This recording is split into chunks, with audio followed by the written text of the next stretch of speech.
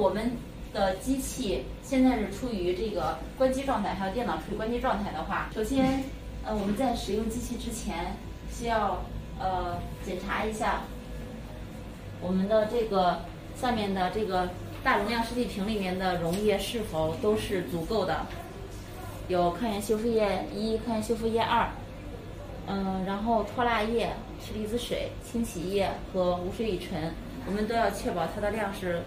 呃，够做本次实验的，然后还要检查一下肺液，然后是否已经清除干净。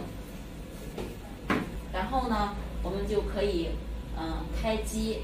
开机开电脑，嗯开机的按钮，然后再打开电脑。打开电脑之后呢，我们就可以打开我们这个程序的运行软件。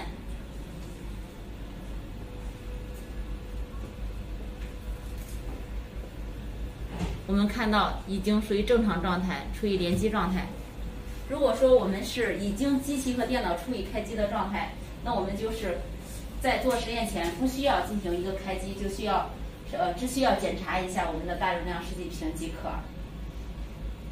然后当我们把前期的这些准备工作做完之后，就可以开始设计本开始进行本次实验的操作。首先呢，我们呃要准备好我们的。呃，一抗试剂瓶，二抗试剂瓶，呃，二抗试剂，然后同时呢，呃，准备好了之后呢，我们可以在这个软件里对我们本次的实验进行一个呃程序的一个设置。嗯，首先呢，我们在第一个在拨片设置里面进行一个病例的一个添加。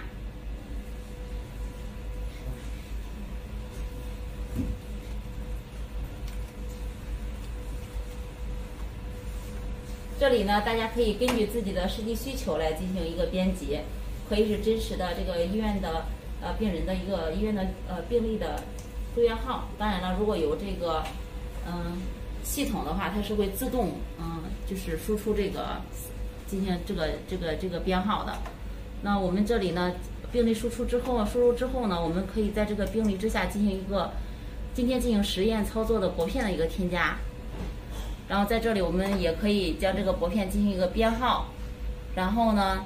呃，这里我们选择的都是测试组织，然后有三个试剂列试剂量，然后可以选择一百微升、一百二十微升、一百五十微升，这个是根据我们的需求去自由选择的。啊，同时呢，我们在下面的染色程序里面呢，有这个免疫组化的染色，还有这个原位杂交的染色。那我们在这里呢，选择免疫组化。选择完之后，在染色方法里面，它有很多这种不同的染色的方法。呃，常规的免疫组化呢，我们都选择是单染。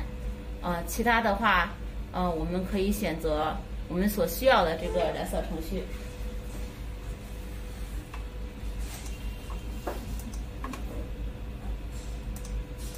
然后标记的话，就是我们的一抗。啊，平时的话，